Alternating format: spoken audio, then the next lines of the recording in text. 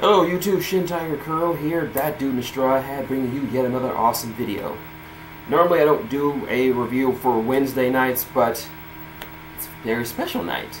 Tonight, live on the WWE Network from the Full Sail University, another NXT TakeOver special, this time called Respect. And this one perhaps has the most hyped and most anticipated main event in a long time. Already can't tell by the thumbnail. You don't really need to be watching this shit. But anyway, if you haven't watched NXT TakeOver um, Respect, pause this video, log on the WWE Network, or sign into it and watch this event. You will not, you will not be displeased. But anyway, how was it? It's my notes. Let's get started. First off, we enter the final matches for the Dusty Rhodes Tag Team Classic. A few months ago, I mean, well, a couple of, I wouldn't say month or weeks ago, William Regal, in honor of, of the man who helped make NXT what it is today, and who had a hand in pretty much anyone who has wrestled in NXT up until this point, Dusty Rhodes, uh, passed away.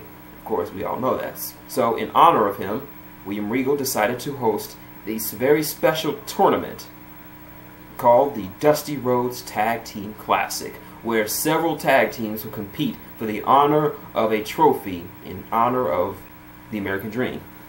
We already received our final. We've already made it through a, a very stacked bracket featuring some of the best talent in the in the roster. But now we're down to the final two mat, the finals with the final four teams, and the first matchup Finn Balor, NXT champion, and Samoa Joe face off against the team of Dash and Dawson. Now, this is my actually my first time seeing these boys in action uh, because I've been skipping a lot lately. But anyway, Dash and Dawson, I really like them because they remind me of the Brain Busters. There was a Bobby Heenan team from the eh, from the from the Golden Age, from the '80s. Uh, they were a very solid tag team, very straightforward, very smash mouth. Well, not exactly smash mouth, but very efficient. They were a textbook tag team, and Dash and Dawson are no different. They're very straightforward. Their their tag team work is impeccable, and there's just no there's, there is no need to have a gimmick with them. Their gimmick is just a, a, a tag team that's just great. But it was a good match. Uh, Finn actually got his leg injured, kayfabe, and but he was still able to, to pull off the coup de grace after Samoa Joe hit his muscle buster for sending the, the team, their team, to the finals. Next up, another team I've not been uh, very familiar with, Jordan, Jordan, yes, I think Jesse Jordan and Clark Gable. Not, or I'll just call them Jordan and Gable, but anyway, versus the team of Rhino and the Lone Wolf Baron Corbin.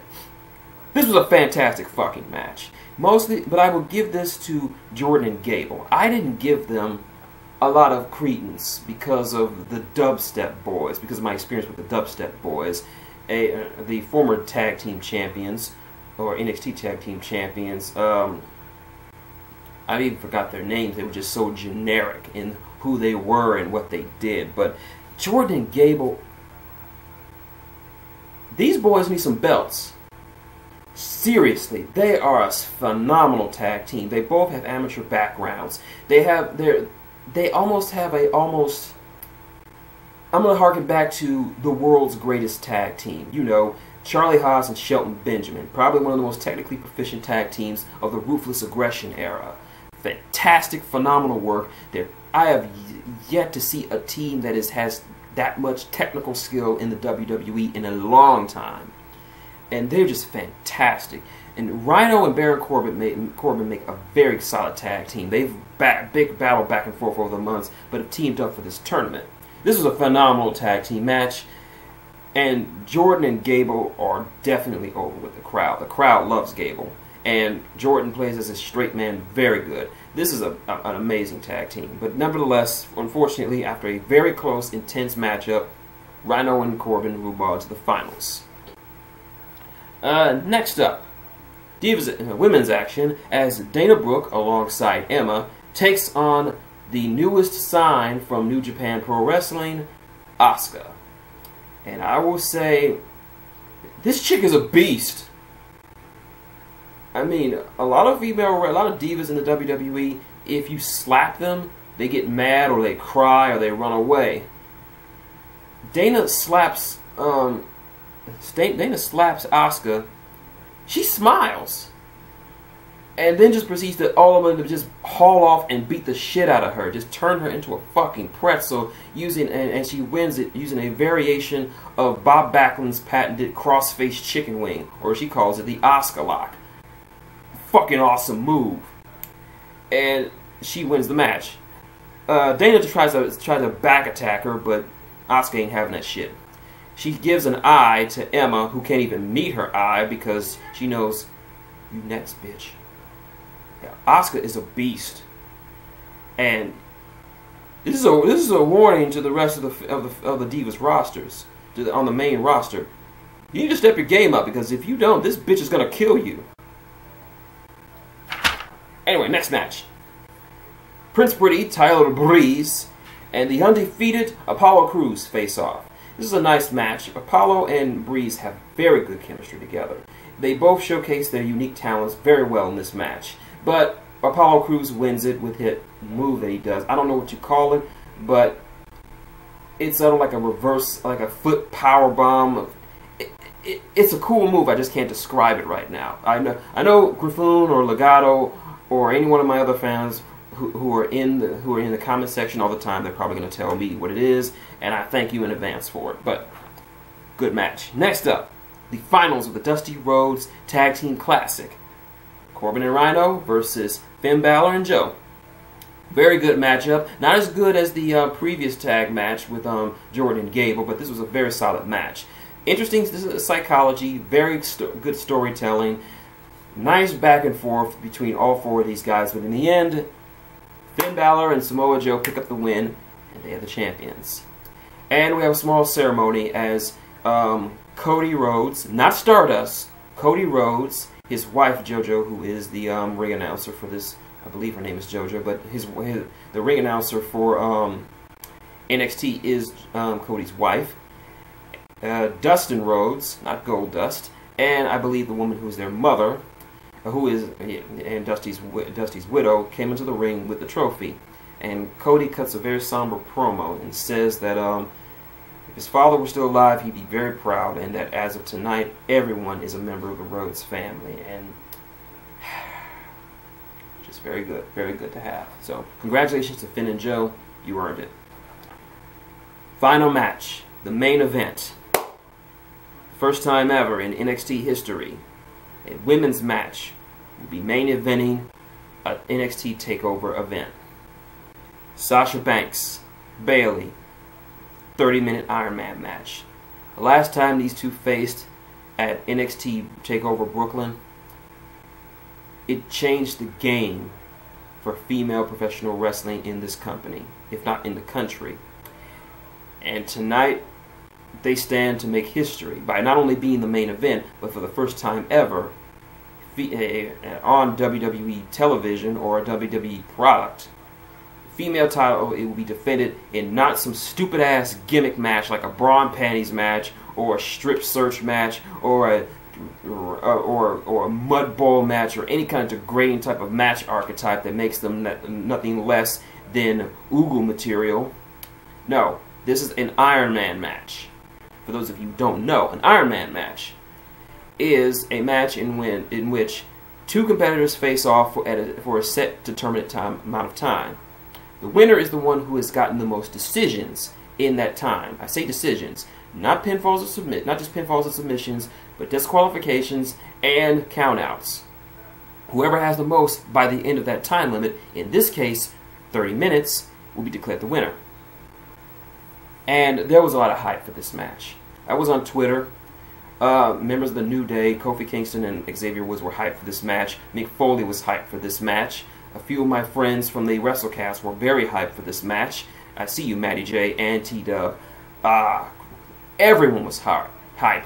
I even went so far as to say my dick is hard for this match, not because the women are beautiful, but because this because the last match they had was fan fucking tastic.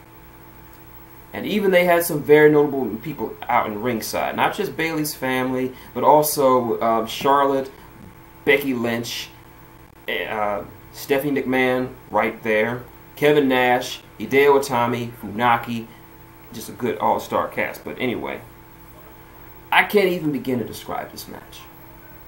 All I can say is see it. There is so much cool and awesome shit in this match that I can't do it justice. I know there's some of you out there that want me to go deep map detail by detail what goes on in this match, but I just can't because I don't want to rob you of the pleasure.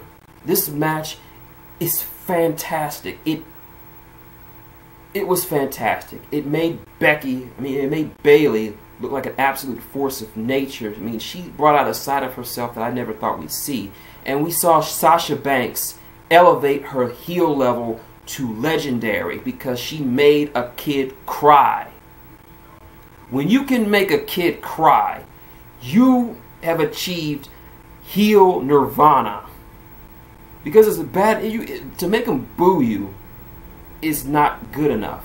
You have to elicit an emotional response, and Sasha Banks did that in this match. And there were so many cool spots. I'm not even going to spoil it. This was just an epic, epic, epic, epic match. And, uh, uh and uh, I'll just tell you the end that um, uh, it was down to the last three minutes. Sasha and Bayley were tied. Sasha locks in the bank statement for the last two minutes or so. And because and during through most of the last couple the last half of this match, Bayley was working on Sasha's hand because Sasha did the same thing to her in Brooklyn, and it kind of couldn't she couldn't lock in the bank statement well enough. So she just manipulated her hand, and we're going down to the last 30 seconds, and Bayley locks in a submission move I've never seen her use before. She may have used it before. I've never seen it before, so it's up to you. Where she just cranks back on her arms and just, oh my god. It looks like a variation of the Saturn's rings that Perry Saturn used to use. It was, oh my god, it was painful. Mm. Just fucking painful. Ugh. But in the last 10 seconds, Sasha submits. The bell rings, the match is over.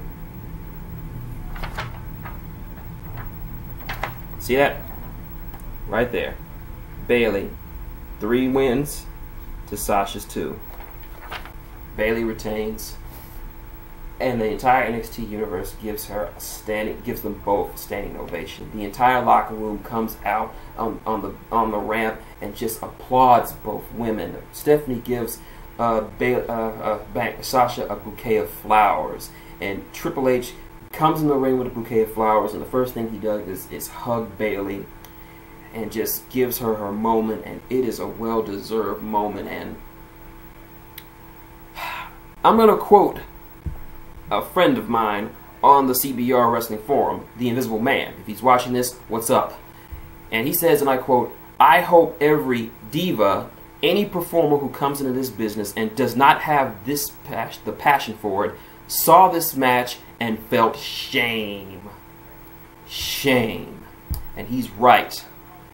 This is what I've been saying all along for the reason why the, the main roster divas don't get as much respect or love as much as the as the as the, as the women do on NXT. It's because the divas, uh, the, the women on NXT and everyone who came from NXT have passion. They want to not just be good, but to be great. And not just say they're great, but to actually show that they're great. This is why I hate people like the Bella Twins Alicia Fox and everyone else who just skate by on being average or good. You don't. Eh, this match just showed that not only can women main event a pay, a major event, but steal the fucking show. And unfortunately, I'm not even gonna say to the Bella twins or Nikki Bella to try to match that because it is impossible for her to do that. Sasha Banks is the best heel that the Divas division has. She is the most complete wrestler on the cat on the on the on the on the ro- on their roster. And she is pretty much everything the Bella twins wish they were. She's a bitch, but she can actually hang. She can take you to the limit and she, she can put you, she can stretch you like a fucking piece of pretzel like Laffy Taffy and shit and make you tap out. She's not she's not bitchy because she thinks she's the best. She's bitchy because she knows it. Unfortunately, and this is and I'm not even gonna because there's no way that anyone on the main roster can match that. You can't. It's impossible. So I'm not gonna say take notes, Bellas, because the Bellas will never be able to match that. That would be like asking Rusev and Dolph Ziggler to match um, to to wrestle a match equivalent to Steamboat Savage at WrestleMania or Hart Michaels at WrestleMania. You just can't do that with them. They have they're good. They're just not going to be ever that good. And I give a, I take tip I take off my hat to you, Bayley and Sasha Banks. You've shown us that indeed women that not that divas don't need to be given a chance. They just take it. They took this chance and they ran with it. The world was watching them, expecting greatness, and they more than they more than ever delivered. So thank you, Sasha Banks and Bayley. You two win. You two win. So, that was NXT TakeOver Respect. My thoughts? Do I even need to fucking say it? Every match on this card was at at the very worst good, at the very at the very most bad, great. I'm even gonna say probably the weakest match on the card was probably the first one and that's only because it was just good. It just was getting us into the shit. I'm not saying that the first match was terrible. It was just compared to everything else, it wasn't. It it, it was. Just, it just comes out as good. Not to say it's bad. It was just the weakest of the bunch, which is saying something with this match. Jordan and Gable, I got my eye on you. You two deserve a belt. Asuka, marry me marry me and I'll slap you all you want and you can smile that sick little grin and you can beat my ass all you want. Just marry me. Marry me. The, the, the the end of that, that, that, that tag team classic tournament was amazing. Nice to see Dustin for the first time after um, Dusty's funeral. The main event. I just spent the last fucking five minutes talking about it. What do you think I think about it? But yeah, that's my video. Like what you see? Link, comment, subscribe below. Got any questions, comments, or you just want to be like me and just fanboy on this shit? Leave it below. I will join you in that shit. uh, you want to support the channel? The like button is down there. You know what to do. Advertisements are all over here. You know what to do. The tip jar is up here. You know what to do. So, until next time. Shin Tiger Curl, that dude the straw hat, taking off his straw hat and bidding great respect and admiration to Bayley and Sasha Banks. I love you.